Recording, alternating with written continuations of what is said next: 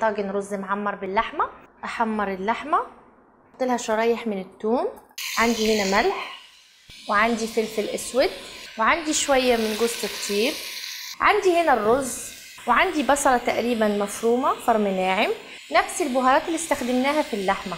هحط معلقة قشطة على الحاجات دي. طاجن الفخار ده هجيب شوية سمنة الأول أدهنه بيها وهاخد اللحمة أرصها كويس قوي في الطاجن من تحت. اللبن والمرقة يغلوا مع بعض أو يدفوا شوية مع بعض مش عايزاهم يغلوا قوي. وهاخد بقى الحشوة بتاعت الرز دي وهوزعه هنا.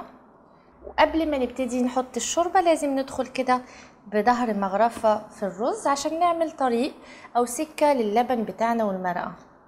شوية من القشطة دي وهاخدها أحطها في أماكن متفرقة كده من الرز. وهدخله الفرن على درجة حرارة 180 لمدة ساعة. هنبتدي نعمل الطشة بتاعة النعناع. هاخد شوية زبدة حلوين. عندي توم مفروم. هجيب بقى شوية ملح وشوية فلفل أسود وشوية جوز الطيب. وهجيب النعناع. أحطه كمان مع الخلطة دي. وهقلب المكونات بالشكل ده. ده شكله بيبقى في النهاية. هننزل بيها بالشكل ده. وهنخلي الطاجن يشربها زي ما قلت.